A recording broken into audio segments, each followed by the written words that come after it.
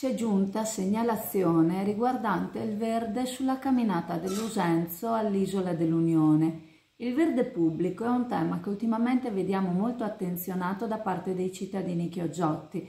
La sensibilizzazione che si sta facendo a vari livelli sull'importanza del verde sta probabilmente ottenendo un riscontro. Si sta capendo l'importanza degli alberi sotto molteplici aspetti e della loro chioma per l'assorbimento della CO2, per l'ombra che crea, per il raffrescamento che deriva dalla sua presenza.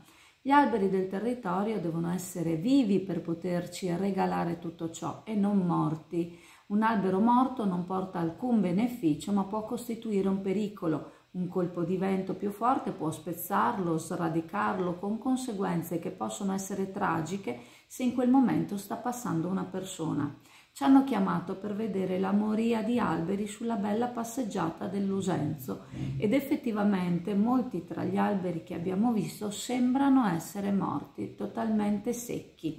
Non siamo in grado di dire se effettivamente siano morti, moribondi, in uno stato letargico o cosa, possiamo solo raccontare quello che vediamo.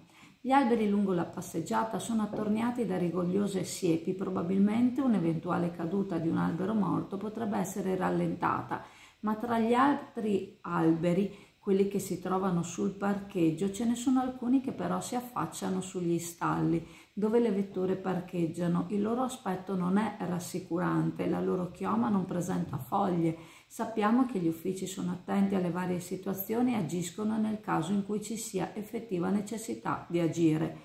Probabilmente se su tali alberi non sono ancora stati eseguiti interventi significa che non ce n'è necessità, ma vorremmo che i cittadini che ci hanno chiamato allarmati vengano informati sullo stato di questo verde pubblico. Non sembra che i giardinieri addetti a quest'area di verde pubblico siano passati da tanto, le siepi sono regolari, siamo certi che se avessero notato situazioni pericolose ne avrebbero dato comunicazione. Al verde pubblico sono stati tolti importanti fondi, soprattutto considerando la vastità del territorio clodiense, che necessita di ordine e cura con alta periodicità. Le conseguenze dei tagli è dover rimandare alcuni interventi e dare la priorità a quelli più urgenti. Con quest'ottica molto è destinato ad essere posticipato.